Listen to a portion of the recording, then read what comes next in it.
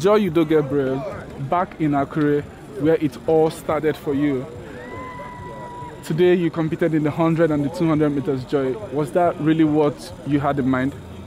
I mean, in running the 200 meters here as well. Yes, that's what I had in mind to run the 100 and especially the 200. Because yes, I want my 200 to be stronger. It makes the 100 better. So yes, I'm working towards doing the 200 more this season. Joyce, um, first race of the season, you ran 11.87, and in the final, I've not gotten confirmation of the time, but I think you ran 11.72.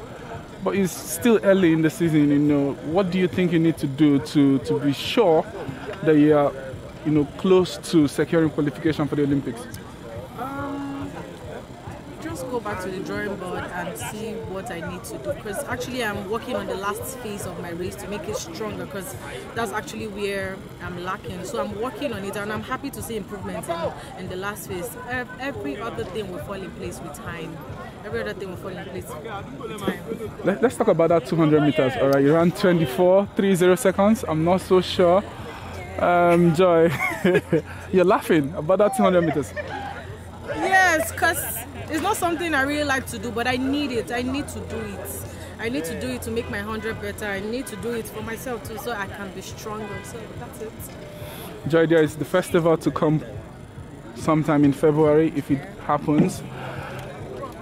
Are you under any pressure, you know, knowing that, see, there's a lot of expectation on your shoulders for you to do very well, and also because you were a medalist at the last National Sports Festival? I'm not under any form of pressure.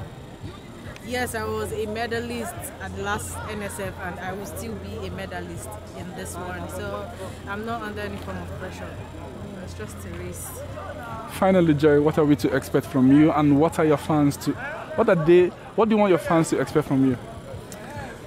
This season, I just want to have an injury-free season and to be able to better my times. Honestly, that's that's just all I want for the season. I just want the season to go well for me. That's it. All the best, Joy, and hopefully you get to hit qualification for the Olympics.